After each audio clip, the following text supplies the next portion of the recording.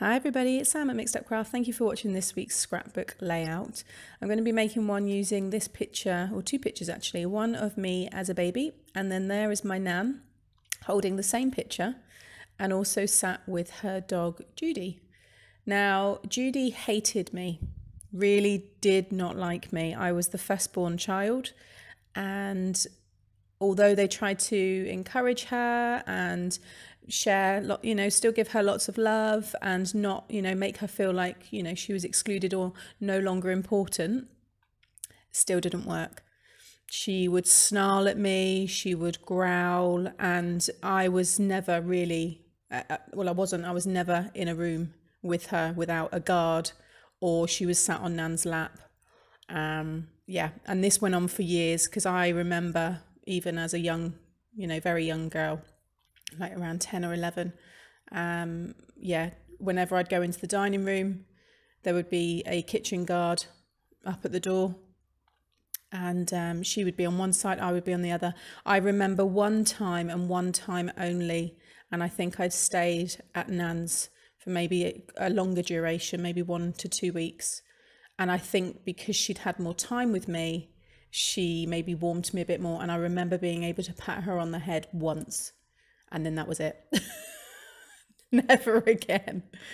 So, on to today's layout, which isn't really talking about Judy, but I just thought I'd add that one in.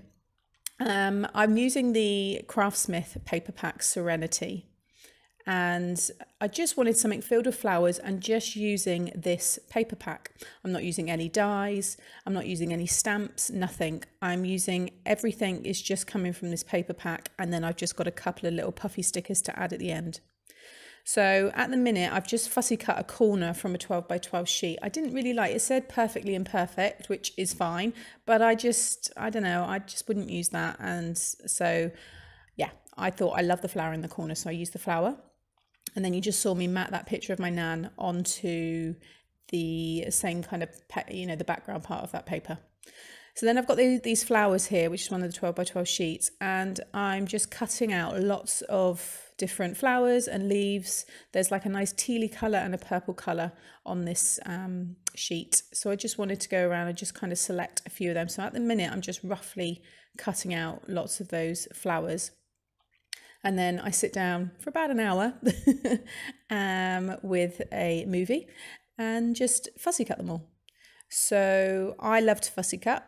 If obviously if you don't like fussy cutting, then you can just die cut your flowers and it would still work.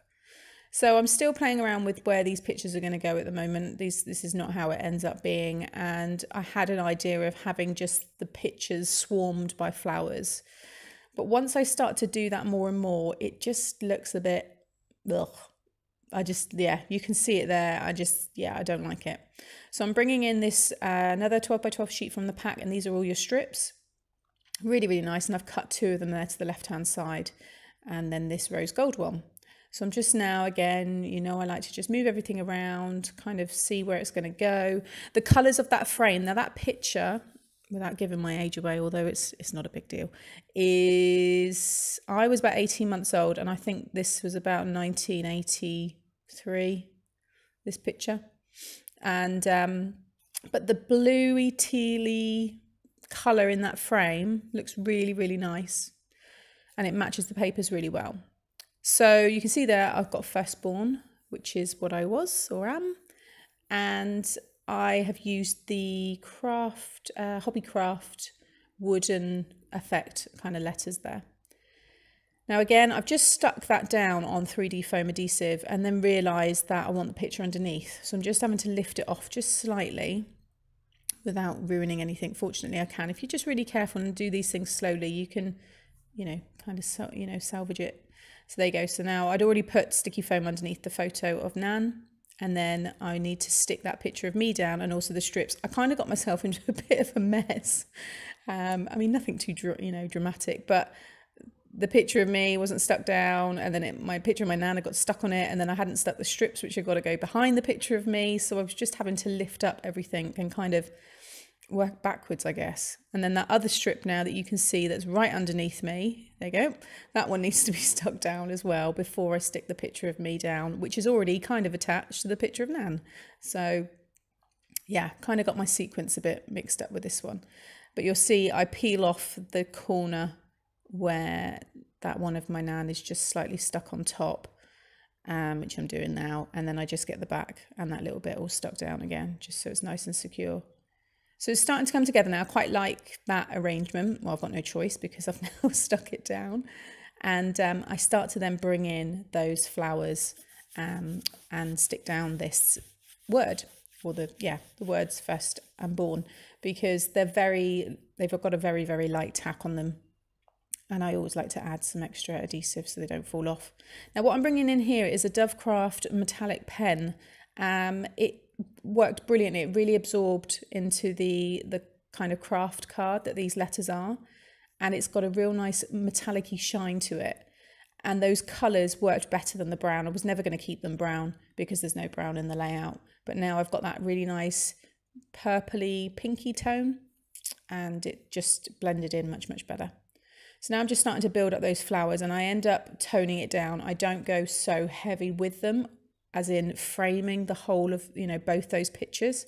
But it's kind of like the, the pictures are getting lost over time. You know, the, the flowers are kind of, you know, starting to take over, I guess.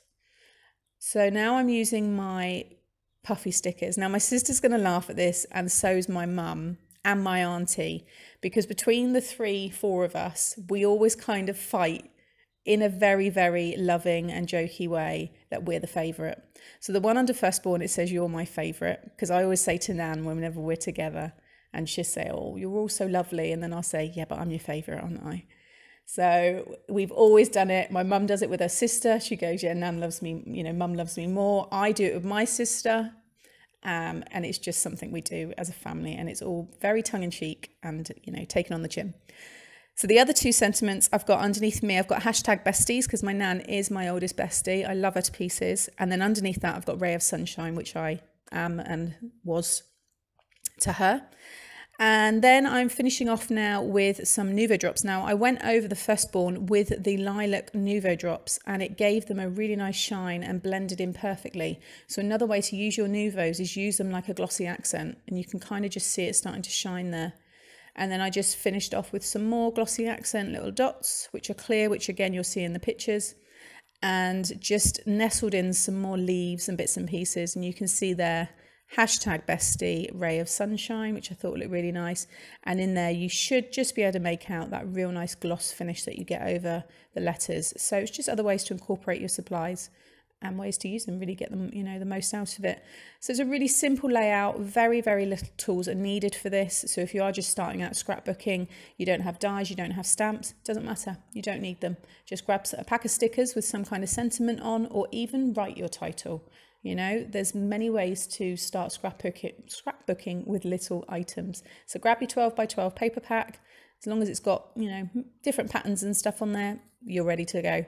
So I hope you've enjoyed this week's scrapbook layout and I'll be back again next week with another one. Thanks for watching. Bye.